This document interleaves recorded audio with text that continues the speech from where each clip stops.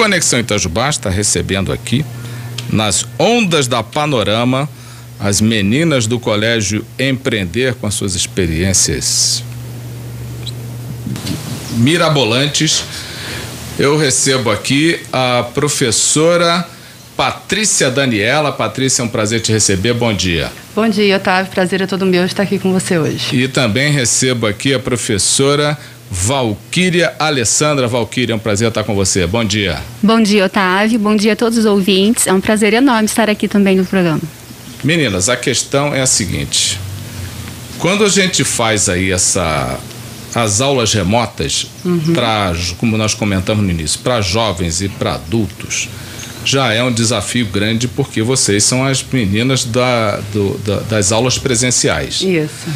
E o desafio duplo para vocês, talvez triplo, é dar aula para criança na pré-alfabetização. Então começo com a Patrícia, explica o que, como é que é isso, Patrícia? Quais são as dificuldades e as facilidades? Sim. Na verdade, no começo foi um susto para todo mundo, né? as aulas online, como você disse, para adultos é bem mais fácil você orientar, mais fácil explicar. Porém, as crianças têm uma adaptação muito fácil do, do meio em que ela vive. Então, é, nós procuramos sempre deixar as crianças à vontade na hora das aulas. É, aulas, as aulas são dinâmicas, então em nenhum momento a criança ela, ela acha que ela está sentada ali e ela tem obrigação de ficar ali. As aulas são totalmente dinâmicas para que elas se sintam à vontade de estar ali. Elas, é, na hora que dê o horário da aula, elas tenham vontade de sentar e ver a professora. É, pois é, é, então me explica como é que funciona isso. A, a, a hora, ela tem uma hora, um isso. momento que ela tem que ir para frente do computador como isso. se estivesse indo para uma sala de aula. É Exatamente. As aulas nós é, são turmas grandes, então nós dividimos a turma hum. em, em dois horários. Quando dá o horário da primeira turma, eu mando o link, nós mandamos o link e a criança já, os pais recebem o link pelo WhatsApp, né, um hum. grupo que é formado pelo WhatsApp. Esse link a mãe já entra e a criança está ali, uniformizada. Ah, é? Isso, Olha. uniformizada. porque nós é, fazemos projetos, nós tiramos, as mães tiram fotos pra gente. Quer dizer, então... vai pro colégio dentro de casa, né? Isso. E a criança também, uniforme, igual a gente fala, uniforme ele serve tanto para é, mostrar para as pessoas né, o, o bem-estar da escola, né? Hum. Mostrar o trabalho da escola. Mas para a criança, é, ela tem que entender que o uniforme é rotina de escola. Se a criança está uniformizada, aquele momento é para ela estudar. Então, se a criança faz aula de pijama, por exemplo, para ela é uma descontração, né? Ela está tá ali tá descontraída. É, está no recreio. E não é esse o intuito do colégio. O intuito do colégio é continuar com as aulas é, online, porém com a mesma qualidade das aulas presenciais. E... Então nós não perdemos de maneira nenhuma a qualidade, porque as crianças elas sabem que aquele momento é o horário da aula. Ô Valquíria, a Patrícia está falando aí de que é uma aula dinâmica. Como? Dinâmico fazendo o quê? Ela é dinâmica em todos os sentidos. Então, né, igual a Patrícia comentou, nós temos uma rotina para seguir, contamos muito com a parceria dos pais, os Sim. pais são muito parceiros com a gente, então sem a participação deles, né, não seria tão possível. E como ela disse também, a qualidade, né, a gente está atrás buscando novas metodologias, buscando atividades muito lúdicas, atrativas, para a criança sentar na frente do computador com prazer, para que ela se sinta feliz ali de frente do computador. Vocês devem estar adorando essa pandemia, né? essa pesquisa que não para, né? É, na verdade a gente é aprende, uma... na verdade o professor ele aprende a cada dia, né? Ele nunca para de estudar.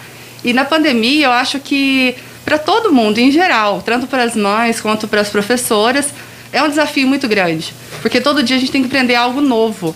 E às vezes a gente fica naquela rotina do dia a dia e a gente acaba esquecendo que tem muita coisa nova para aprender tanto para gente, adulto, quanto para as crianças. E agora vocês têm aquele acréscimo, né? Uma coisa é você aprender é, disciplinas pedagógicas, outra coisa é que você também tem que aprender informática, né? É, Novas é técnicas é de informática. E agora nós estamos usando a tecnologia ao nosso favor, né? Isso. Então, assim, foi um grande desafio para a gente também, porque nós estávamos acostumadas a dar aula em sala, presencial, Sim. né? Sem o uso do computador. Então, assim, o desafio foi enorme. Mas as crianças se adaptaram com facilidade. Sim. Nós também, né? Aquela busca incessante interessante por matérias novas, disciplinas, tudo assim bem lúdico mesmo para chamar a atenção da criança e para que a aprendizagem dela continue, né? Não para. O, o, o Valquíria, vamos para o pessoal sintonizar bem o que nós estamos sobre o que nós estamos falando, sobre quem estamos falando. Qual é a faixa etária dessa criançada? Nós estamos com a turma de pré-2, 5, 6 anos, tem 5 para fazer 6 anos, ah. pré-alfabetização. Então é uma fase, né? Tão importante como as outras, mas muito importante porque é a fase de pré-alfabetização. E é uma fase que a criança é mais do que inquieta, ela não suporta ficar sentada 10 minutos, não é isso? Mas elas ficam. A gente, a gente consegue né, cumprir o nosso horário direitinho e eles ficam direitinho e termina atividades na pergunta se tem mais. É. Porque Olha. as aulas são bem dinâmicas mesmo. Que deve ser, imagino que deve ser melhor do que ficar com papai e mamãe, né, enchendo o saco dentro de casa. É, na verdade, os pais eles ficam né? juntos, né? É? Os pais eles acompanham o tempo todo. Se não fossem eles. Tem brincadeira? Tem brincadeira. Os pais tem participam história, na boa? Participam. Tem nós, música. Isso, nós tivemos a festa junina online. Ah. Os pais fizeram em casa um cenário fantástico. Olha que é, de, Nossa, nós ficamos de boca aberta, né? Tipo, comidas porque, típicas. Comidas típicas, dança. Então foi a participação dos pais está sendo muito importante. Sem eles, realmente nada seria possível. Quer dizer, então esse é um desafio prazeroso, né? Prazeroso. Sim, com certeza. Ô, Patrícia, o que é que vai ficar dessa experiência para a posteridade. Você acha que alguma dessas coisas que está dessas instrumentações, dessas uhum. ferramentas tecnológicas que estão sendo usadas, vão ficar para serem utilizadas ainda, mesmo que acabe a pandemia, mesmo que voltem as aulas, mesmo quando voltarem as aulas presenciais? Olha, eu tenho certeza que sim, porque tanto nós como as crianças já, já estão é, vendo a tecnologia de uma maneira diferente não só joguinho, não só música, elas estão vendo que tem um mundo tecnológico a favor delas. Então nós vamos usar sim esse mundo tecnológico a nosso favor quando nós voltarmos à normalidade, né? E usar mais desse, dessa tecnologia. É, lógico, não deixando o dinamismo de lado, né? Porque as crianças precisam dessa parte lúdica, mas nós vamos usar sim a tecnologia a nosso favor, com certeza. Mas isso não quer dizer que as crianças não precisem voltar para a escola. Viu, precisam, criançada? Ah, pais precisam, também não vai, vai, vão ter que voltar para a escola. muito, porque o contato... Eles precisam, né? Da, precisam, porque o socializar, contato, né? Isso, socializar com o amigo, com a, a, com a escola. O ambiente escolar faz muita falta para ela. Por isso que nós usamos uniforme, para que ela se sinta naquele momento na escola. A escola vai até ela. Então, por isso que é muito importante o uso do uniforme também.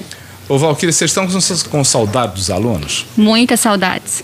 Mas mesmo as aulas sendo assim, né, distante, online, não deixamos de, né, de trocar palavras de carinho, o afeto sempre está presente ali, nos bate-papos. A gente estuda sim, mas tem os momentos também de brincadeira, de bate-papos. A gente manda mensagem, vídeos. Pois é, nós estávamos antes de entrarmos no ar falando sobre é, como é que vocês fazem para para tomar manter a atenção dessa criançada? O que é que vocês já fizeram de mais diferente? Patrícia. de mais diferente?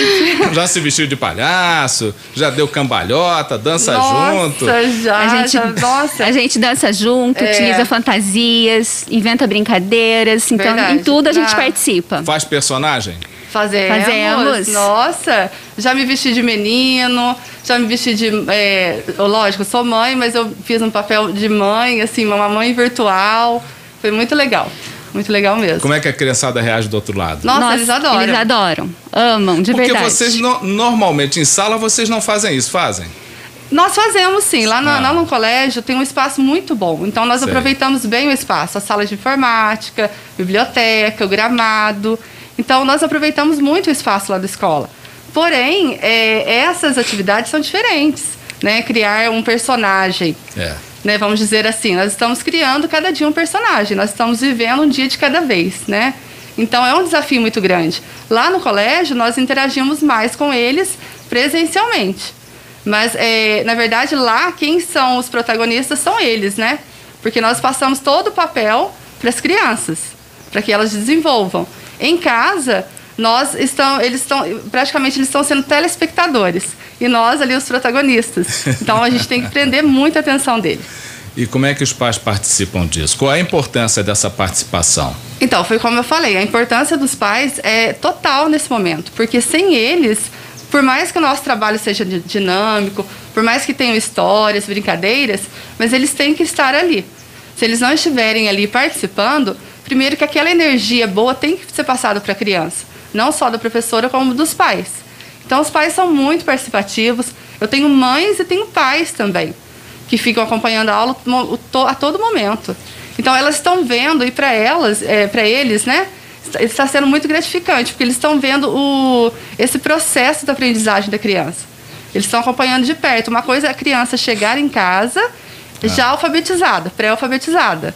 E outra coisa é o pai vendo isso. Então é muito gratificante. Quer dizer, vai ter pai que vai de repente querer que tenha câmeras dentro da, da sala quando voltar o presencial para eles ficarem participando. Vão ficar com saudade. Hoje, hoje pode ser até que eles estão cansados, sejam cansados, hum. mas depois eles vão ficar com saudade. Ô Valquíria, você estava falando da saudade, como está falando a Patrícia aí do, do, dos alunos. Como é que você espera essa volta? O que, você acha que vai acontecer? Nossa, a gente, a gente, espera muito, né? Que volte tudo ao normal, que volte logo. É, o Estado, o governo do Estado já está acenando aí com a volta do presencial na rede uhum. estadual, né? Vamos ver. E assim, a saudade é muito grande, né? E a falta do contato físico, daquele abraço, daquele sorriso, né? Chamando a professora e falando com a gente, isso não tem preço, né, Paty? É verdade. Então a gente Chama espera... de tia, né? Chamando de tia. Tia Patrícia e é. tia Valquíria. As crianças são muito espontâneas. Então eles estão né, o tempo inteiro falando com a gente, querendo abraçar, perguntando. Então faz muita falta. A gente é espera muito. Você, o, o, Patrícia, você absorve um pouco dessa, dessa criancice quando você está junto com as crianças? Um pouco? Com certeza. eu acho que é total. É, eu falo que a gente não perde esse lado. Trabalhar com criança tem que ser criança.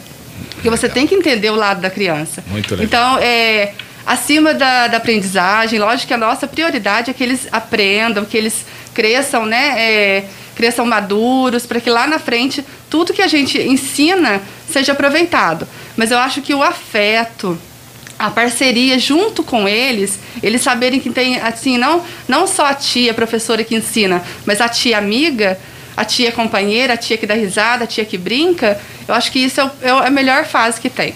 O, aqui tem no WhatsApp, eh, tem, eh, tem internauta perguntando como é que ele, eh, como é que ele faz para ter mais informações sobre essa, essa didática que vocês utilizam. É, e também aqui no Facebook, uhum. a Érica Lorena, manda uma, por favor, manda um abração para Patrícia, excelente profissional e amigona, o professor Ronaldo Abranches, professoras Patrícia e Valquíria são profissionais que têm sensibilidade essencial para. Aqui já vai um discurso de o diretor do IMPEC. Sensibilidade essencial para educação com qualidade orgulho de ter pessoas como elas no Colégio Empreender. Tá aí. É, Esse é meu amigo Ronaldo. Mas é como as pessoas que quiserem ter informações sobre essa metodologia ou informações sobre o Colégio Empreender, porque já no ano que vem já abre turma, não abre? Abre, Sim, com certeza. Com certeza. Estamos a vida segue, né? Isso. A escola ela fica aberta no horário normal da secretaria. As pessoas podem estar indo lá, tirar informações, conhecendo o nosso colégio, porque como eu disse, Lá no colégio nós temos um espaço muito bom, excelente o espaço lá. E nós vamos sim levar muitas dessas coisas que nós estamos aprendendo hoje para o ano que vem, sim. Então vale a pena os pais ir lá, ir lá conhecer, é, prestigiar o nosso espaço, conhecer um pouco da nossa didática. Essas dinâmicas, é, nós temos é, canal no YouTube, né? Onde é, são. Porque nós é, você vê adaptação total. Que é que é os vídeos, são os vídeos que Qual nós é postamos. youtube.com barra Patrícia Daniela. Ah, é? E Valquíria Salles. Valquíria Salles. Muito legal. Então lá nós Valquíria postamos com W, né? Valquíria? Isso, Valquíria com W, Salles com L só. E mesmo com essa pandemia, nós estamos trabalhando todos os projetos, datas comemorativas, não deixamos passar nada, nada. em branco. Valquíria, não minta, hein? Esse tempo vai deixar saudade? Vai. não deixa de ser um aprendizado, claro. vai deixar saudade sim, né? Claro. E tudo que a gente passa é uma experiência. E é uma experiência positiva também, com certeza. Muito verdade. legal. Muito olha, meninas, foi um, uma delícia estar conversando com vocês. Muito obrigado. Parabéns por esse trabalho que vocês desenvolvem lá no Colégio Empreender. E sucesso. Até breve. Obrigada. Espero vê-las aqui brevemente. Obrigada. E que seja breve também o retorno às aulas presenciais, né? Pra gente ver como é que vai ficar esse- essa mistura, né? Pois de é. Com Vai certeza. ser muito, vai ser seja breve. né? Se 2020 já foi um ano diferente, 2021 promete. Promete. Promete. Isso é bom demais. Meninas, valeu. Obrigada. Obrigada. Essas foram as professoras Valquíria Alessandra, Valquíria Salles e a professora Patrícia Daniela, do Colégio Empreender, participando aqui do Conexão Itajubá, nas ondas da Panorama.